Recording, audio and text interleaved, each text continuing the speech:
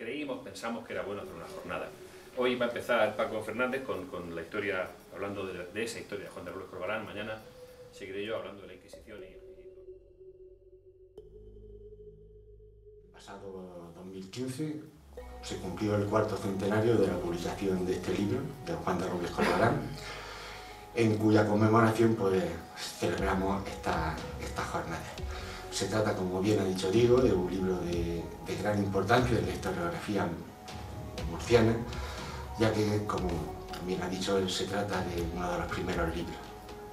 Seis años anterior al muy reconocido libro del licenciado Francisco Cascales, Los discursos históricos de la noble ciudad noble y leal ciudad de Murcia, que lo publicó en 1621, seis años después, como decía. Bueno, antes de empezar a desarrollar un poco la biografía de este personaje, unas breves notas para contextualizar la época en que vivió, que fue la segunda mitad del siglo XVI y las dos primeras décadas de la centuria siguiente. Una época muy interesante en la que Caravaca se va a desarrollar enormemente en todos los aspectos. Nuevas formas de gobierno, pues hay que señalar que hasta 1540 el Consejo de Caravaca estaba presidido por dos alcaldes ordinarios y a partir de esa fecha fueron sustituidos por un alcalde mayor y gobernador que era nombrado por la Orden de Santiago y a partir de 1556 por la corona propuesta de la Orden. Este, este oficio tenía un amplio poder judicial y también político y también viene a establecer un nuevo sistema social en el que las oligarquías locales, incluso con terribles enfrentamientos y muertes entre ellos, van a intentar conseguir su parcela de control del gobierno municipal,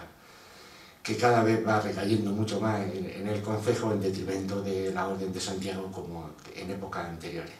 Es una época también de crecimiento demográfico, puesto que de los 500 vecinos que había en 1507 se pasan a 1750 en 1579, lo que supone triplicar la población. Pero también lo es en el aspecto urbanístico y en el comercial. Al primero pues basta recordar todas las obras que se construyen o que se empiezan a edificar en esta época, de la parroquia, la Concepción, incluyendo pues todos los conventos, ermitas y que culminaría en 1617 con el inicio de la nueva iglesia para la cruz. Y también franceses, dedicados estos más a la explotación y comercio de la madera.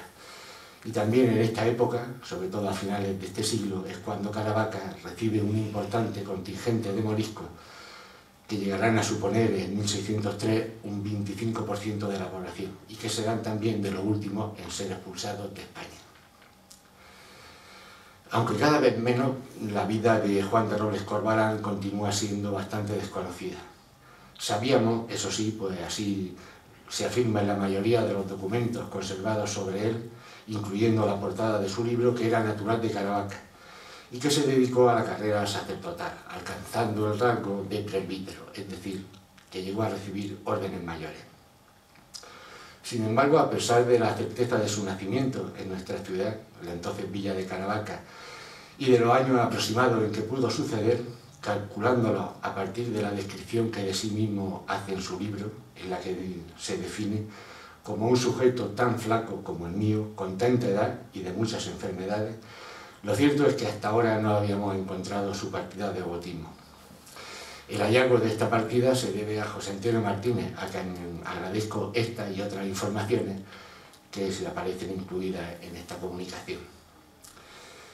Por diversos documentos notariales conocemos a parte de su familia perteneciente a la hidalguía carabaqueña. Sus padres fueron Diego Corbalán de Reina y Catalina de Robles. Y también sabemos que tuvo al menos cuatro hermanos, siendo presumiblemente él el menor de los cinco. Los nombres de sus hermanos fueron Diego Corbalán de Robles, Juan Corbalán de Reina, Elvira Corbalán, Juana de Robles y Luisa de Robles. Y sus abuelos por parte materna, Juan de Robles y Elvira de Robles. Este Juan de Robles, me refiero al abuelo de Juan de Robles Corbalán, tras enviudar de su primera esposa, contrajo un nuevo matrimonio, en esta ocasión con Teresa Gómez Ochoa, con la que tuvo otros dos hijos, Juana de Robles, que emigró a la India, como luego veremos más adelante, y Diego de Robles, que a su vez casó con Juana Robles de Arias, y estos fueron los padres de el licenciado Juan de Robles Arias, también el presbítero, que era primo de Juan de Robles Corbalán. Según el cronista franciscano Fray Pablo Manuel Ortega, en su libro Descripción coreográfica de la provincia regular de Cartagena, el nombre completo era Juan de Robles Corbalán y Fonsalida, aunque salvo en esta no he encontrado eh, este apellido en ninguno de los otros documentos que conozco. Sin embargo, este hecho podría explicar el por qué hasta ahora no habíamos encontrado su partida de nacimiento. Hay que considerar también la ausencia de un protocolo fijo en la elección y la designación de los apellidos que Juan de Corbalán fue en salida y de su mujer Catalina de Robles. Fueron sus compadres, tal, tal. Yo creo que esta presumiblemente y con la debida eh, precaución es la partida de nacimiento, tanto porque coincide con la época como coincide también eh, este segundo apellido que al igual que Juan de Robles Corbalán también utilizaba el apellido de Fonsalida, posiblemente su padre, Diego Corbalán, también utilizará este de Fonsalida, aunque no aparezca en los documentos que conocemos. También coincide el nombre de la mujer, coincide en la época, con lo cual, presumiblemente, como decía, esta es su partida de nacimiento y que por lo tanto Juan de Robles Corbalán nació algún día de este 14 de marzo de 1557 y que por tanto tenía 58 años cuando publicó su libro e hizo de él la descripción que le he leído hace unos momentos. Posiblemente el hijo menor pues se dedicó a la carrera eclesiástica y según el profesor Juan Barceló, en la biografía que publicó sobre este personaje dentro de la enciclopedia, el diccionario enciclopédico de la región de Murcia, Estudió humanidades, filosofía y teología, lo que debió de hacer en alguna universidad cercana como Granada o Valencia. Materia esta en las que se licenció y de las que llegó a ocupar cátedra durante algún tiempo, renunciando posteriormente a ellas para dedicarse al ejercicio del sacerdocio, fijando para ello su residencia en Caravaca, donde desarrolló su ministerio en la Iglesia Parroquial del Salvador. Eso al menos parece deducirse de algunos documentos donde aparece su nombre unido a la colecturía de misa y a la atención de determinadas capellanías. No obstante, además de esta ocupación, a lo largo de su vida tuvo también otras actividades económicas, como reflejan varios documentos, escrituras de complemento e incluso en su primer testamento, otorgado en 1596, en el que señala que tiene un libro de cuentas en su casa donde tiene todas las anotaciones de esta actividad para que se liquiden eh, en el caso de que esa enfermedad que estaba sufriendo en ese momento fuera la causa de su muerte. Y también porque lo dice el, propio oh, Ortega, el padre Ortega, franciscano, parece ser que durante algún tiempo también viajó presumiblemente por la región de Murcia en búsqueda de la documentación para su segundo libro, que nunca llegó a publicar. La mayoría de los investigadores y estudiosos de nuestro, de nuestro protagonista eh, parecen insistir solamente en relacionar su actividad profesional como sacerdote al culto y servicio de la Cruz de Caravaca. Sin embargo, esto solo sucedió en dos ocasiones, en realidad solo en una. La primera de ellas, en 1616, que como digo, eh, esta resultó fallida porque nunca llegó a llevarse efecto. Y fue en un plan que, se, que coincidente también con la edificación de la nueva iglesia de la Cruz, pues se pensó crear para, el culto y servicio de la Cruz un grupo compuesto por 12 capellanes menores y un capellán mayor, siendo Juan de Robles de Corbalán uno de los elegidos para, de los 12 elegidos para estos capellanes menores. Pero como digo, ese proyecto fue rechazado y nunca se llevó al 31 de diciembre de 1621. En el acta municipal correspondiente a la elección de oficio de primero de año de 1621 aparece su nombramiento eh, señalándole el salario acostumbrado. Entre los escasos datos conocidos también sobre él, figura eh, su nombramiento en 1608 para atender, juntamente con el que antes decía su primo, el licenciado Juan de Roble Arias, de una capella instituida en su testamento por la tía de ambas, Juana de Roble, que había emigrado a la, India y falleció allí. Ella era viuda del licenciado Pedro Díaz de Turín en realidad eh, en origen marchó como criada de él, pero allí se casó e incluso llegaron a tener una hija. Ella, tras la muerte de su marido, ella heredó eh, el capital que tenía y parte de él, eh, en su testamento, lo dedicó a, fundar una capellanía en Caravaca que ascendía a 500 pesos, que eran unos 130.000 maravedíes, algo más, que debían ser puestos a censo, manteniéndose con los intereses que, que produjera. Tampoco hasta ahora conocíamos con certeza la fecha de su fallecimiento y el lugar exacto donde se produjo. Tan solo que hizo su último testamento, no el que me refería antes, otro posterior, en Murcia el 11 de diciembre de 1622. Según se contiene en el documento, Robles Corbalán se encontraba residiendo temporalmente en Murcia, en la casa de un amigo suyo, Nicolás Torrecilla, aunque continuaba siendo vecino de Caravaca, donde poseía una casa, eh, la casa donde habitaba, que según dice en su primer testamento compró a Alonso Ferrer. Sin embargo, tampoco indica su localización y tampoco sabemos el sitio exacto donde vivía. En su primer testamento, que fue de 1596, disponía que su enterramiento se hiciese en la iglesia mayor de Caravaca, en la sepultura de sus padres. Sin embargo, en el segundo y postrero no especificó el lugar, dejando facultado a Nicolás Torrecilla para que lo eligiera. Aunque dejó dispuesto que lo efectuaran en un ataúd de madera, como lo hacen los clérigos, lo que hace pensar que el propio Robles Corbalán presagiaba que su fin estaba cercano y que posiblemente no regresaría a Caravaca.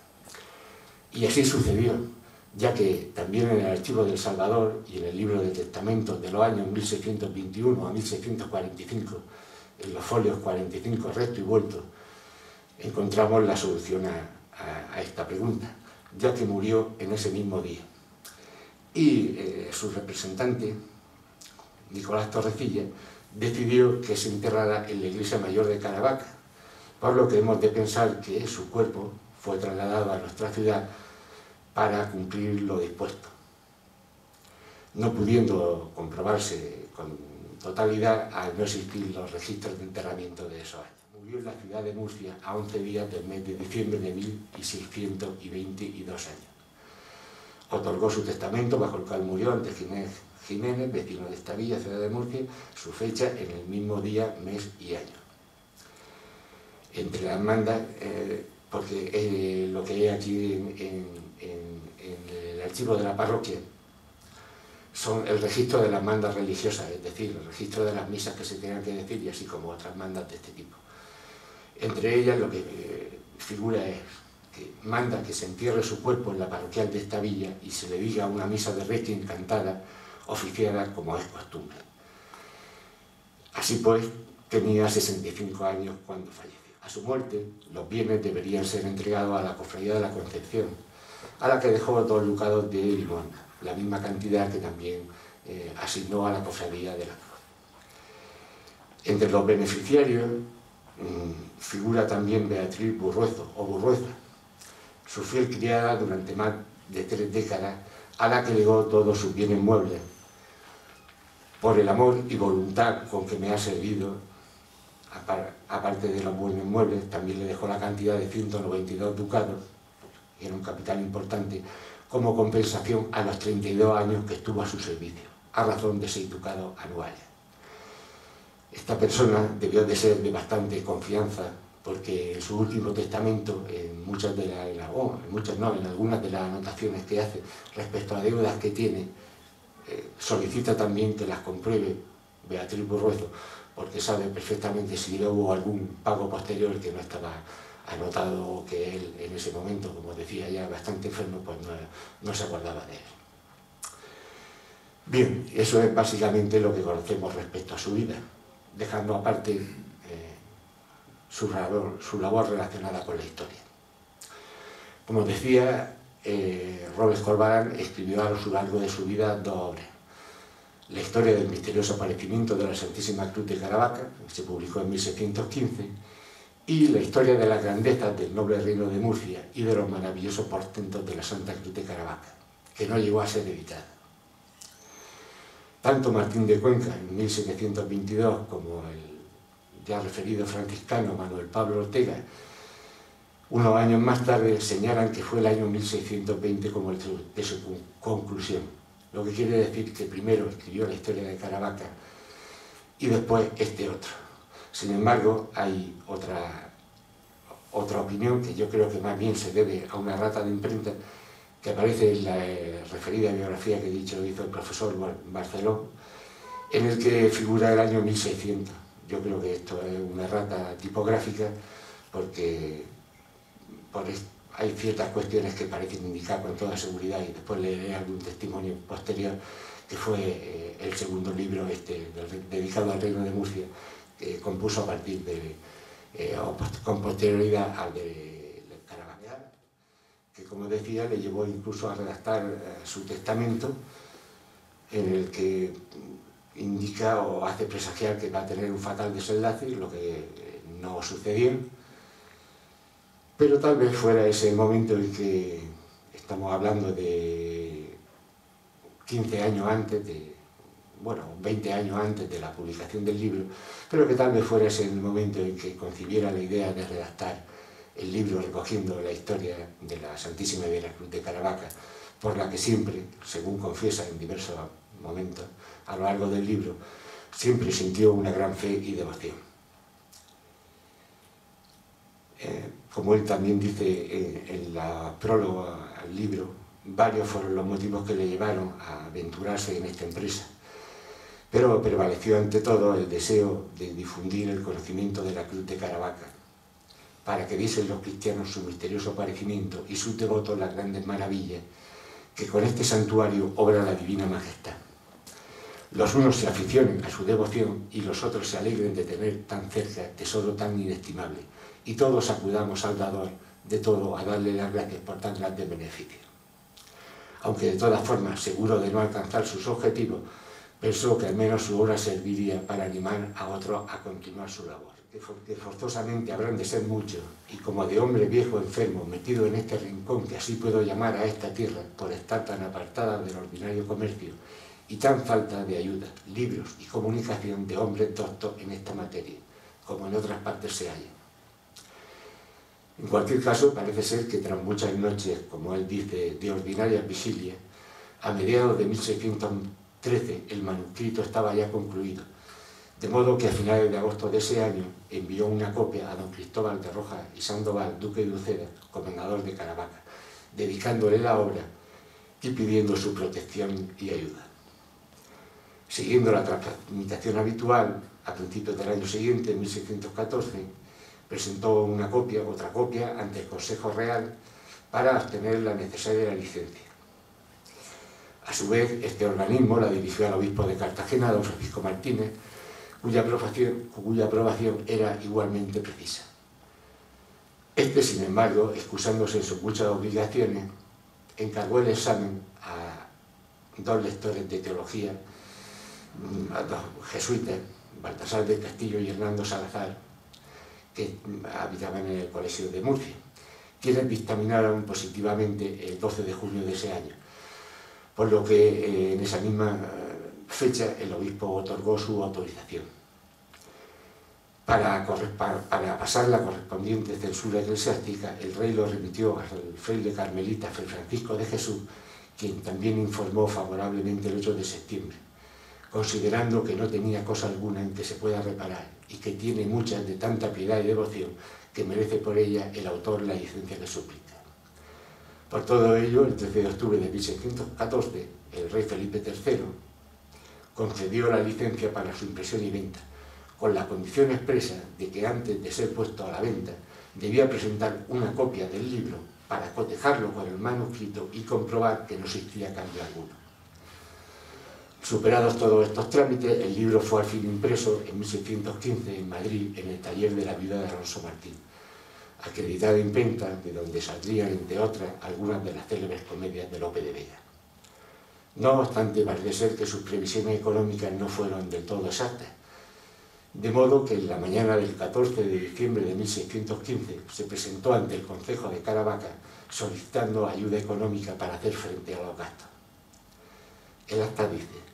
pareció el licenciado Juan de Robles Corbarán, clérigo presbítero vecino de esta villa, el cual dijo que movido con santo celo y devoción de la Santa Cruz de ella, ha hecho un libro de su aparecimiento milagro,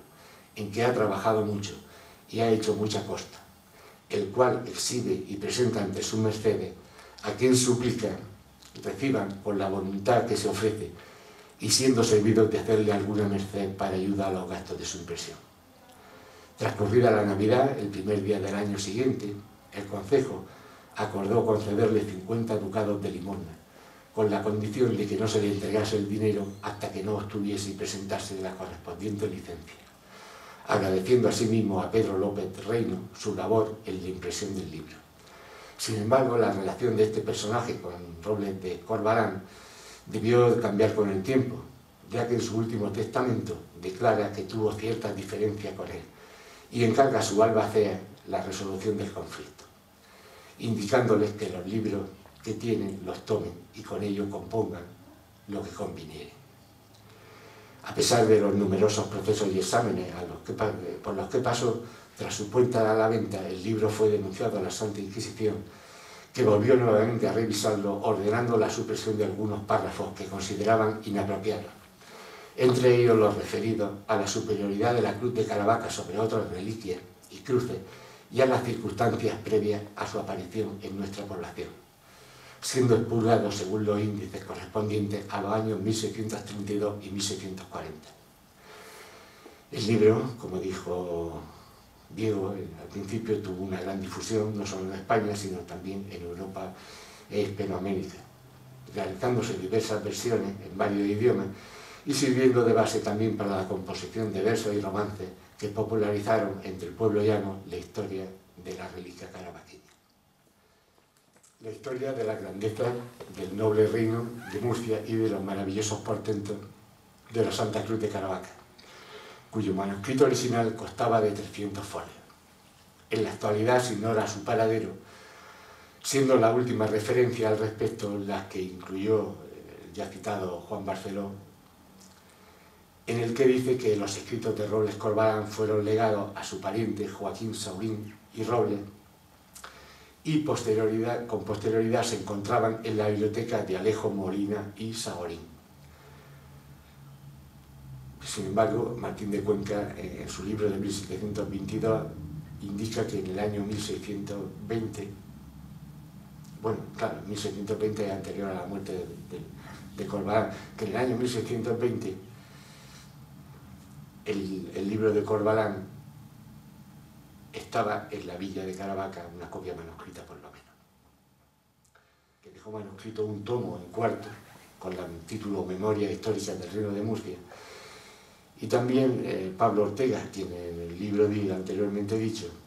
nos ofrece algunos datos nuevos, así como un juicio crítico en el que valora muy positivamente la figura de Juan de Robles Corbalán, aunque sin dejar de manifestar algunos reparos debido a las fuentes que utiliza. Dice de él, después de haber impreso un libro en cuarto de la santa y famosísima cruz en que se, venera, en su patria y es celebrada en todo el orbe católico, trabajó en otro, también en cuarto, pero de mucho cuerpo, con este título, Historia de la grandeza del noble reino de Murcia y de las maravillas portentosas de la Santa Vera Cruz de Caravaca. Pero este no ha logrado la pública luz. Pone aquí muy buenas noticias de este reino y se conoce que viajó mucho en busca de ella y principalmente trae varias inscripciones de lápida y otros monumentos de la antigüedad que no se han publicado y que se colocarán en sus respectivos lugares con su explicación y crítica, de la que algunos la necesitan mucho. Espero que todo sea bien recibido de los curiosos y anticuarios y que en esta materia tienen voto. Pero, de deber, eh, pero es de deber advertir que este autor pone algunas noticias de los pseudocronicones, pero que escribió en tiempo en que estos corrían por España en opinión, pues, acabo, pues lo acabó en el año de 1620 pero aún el de mediana erudición podrá bien distinguir unas noticias de otras, admitiendo las verdaderas y fundadas y desechando las apócrifas y fingidas. Este testimonio nos ofrece también una visión un poco distinta de la generalizada sobre este personaje y que nos permite imaginarlo viajando a lomo de cualquier caballería o también de algún carruaje, según el caso, buscando ruinas y vestigios arqueológicos y copiando con detalle las inscripciones que encontraba. Que procedían de un fiel indagador de las antiguas glorias de este reino llamado Don Juan de Robles con los antiguos reinos, provincias, ciudades, villas, iglesias y santuarios de España. Primero, en el que celebramos su cuarto centenario, hay que decir que está dividido en dos partes, conteniendo en la primera la descripción e historia de la villa de Caravaca, la aparición de la Vera Cruz, Fea Bucey y su conversión al cristianismo, la presencia de las órdenes militares del Templo y Santiago. Y aunque el relato de la milagrosa aparición de la cruz había aparecido ya en algún documento del libro anterior, Robles Corbalán fue el primero que ofreció una narración completa. Y para todo ello, el ejemplo del milagro, así como otros presentes en el libro, podían influir en su aceptación definitiva, posibilitando su integración y convivencia. Sin embargo, el personaje que tuvo mayor influencia en su obra fue el jesuita Jerónimo Román de Liguera, con quien mantuvo una estrecha relación durante los años 1609 a 11, en el que Román de Liguera estuvo residiendo en el Colegio de Carabaqueños, a donde fue enviado para dificultar la impresión y difusión de su obra. Después de 40 días de calentura continua, y un día alzando los ojos a un tapiz del aposento donde yo tenía la cama, vi colgada una cruz de la de Caravaca, tocada, y pedí a mi madre con singular afecto que la alcanzase y me la pusiese en la cabeza y pecho, porque esperaba sin duda con aquel poderoso roce había de quedar sano. Miró Dios nuestro Señor mi deseo, porque poniéndola a mi madre con lágrimas tiernas de devoción, mejoré. Y dentro de cuatro o cinco días me levanté sano de todo punto. Y así, acordándome de este beneficio, no me he olvidado de buscar en qué servir. La, parte de historia que hace francamente, eh, digamos, un poco por contextualizar y por manifestar también una antigüedad y una gloria y unos orígenes mucho más ilustres de lo que realmente son. Y entonces en ese sentido a él tampoco le interesa eh, aportar datos fiables, ni es un investigador, ni tiene metodología, ni es, ni es la época tampoco de eso, a pesar de que hay otros escritores más críticos.